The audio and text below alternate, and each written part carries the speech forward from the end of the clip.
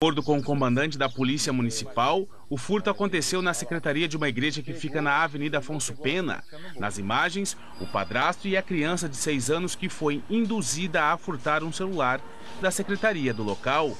O homem se levanta e vai até a secretária. Ela fica distraída, enquanto a criança pega o celular e coloca no bolso. Momentos antes, ele explicou para a criança o que, que, ia fazer. Inclusive, ele já estava monitorando o local, né?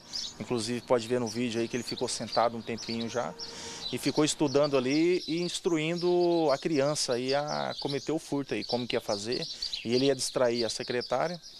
Em momentos posteriores aí, cometeu o furto do celular. Após cometer o crime, o homem de 32 anos foi encontrado com a criança na área central da cidade, na Praça Ari Coelho. Ele foi abordado pelos policiais municipais, confessou o crime e acabou preso. A guarnição avistou aí esse indivíduo com a criança, onde a criança estava no colo dele e tirando selfie, justamente com o próprio celular, né, aparelho do material do furto.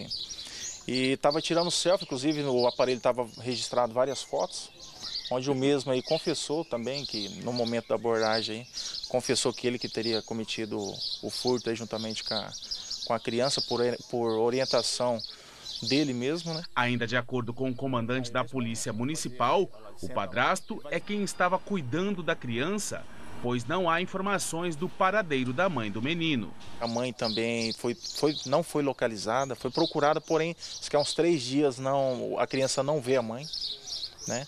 E posteriormente foi entregue à delegacia, onde os agentes aí eles iriam levar a criança até a residência da avó, onde a criança ela sabia onde que a, a avó morava, né? E posteriormente ser entregue à avó, onde se não houvesse a localização da avó, ia ser chamado o conselho tutelar aí. E a, criança, infelizmente, aí poderia ser até encaminhada para o conselho tutelar.